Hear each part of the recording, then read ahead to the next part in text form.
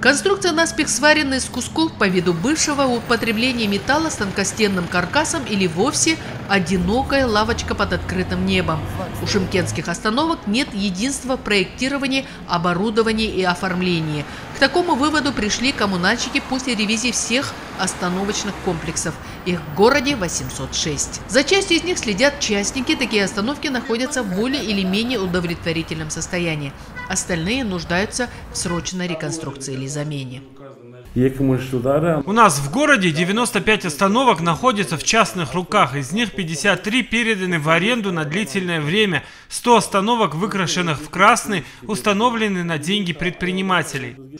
Часть павильонов в Шимкенте сохранились еще с советских времен, другие остановки обновили недавно. На некоторых улицах специальной конструкции нет вообще.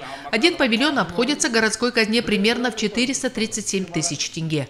Городу сегодня требуется не менее 325 остановок.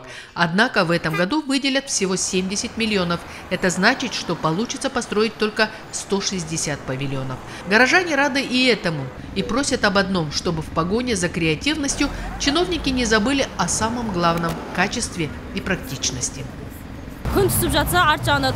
Главное, чтобы на остановках можно было от дождя спрятаться, а то у нас остановки такие, что летом от жары не спасает, а осенью и зимой от ветра и осадков. На Байтурсынова людям приходится стоять под дождем. Остановка не оборудована.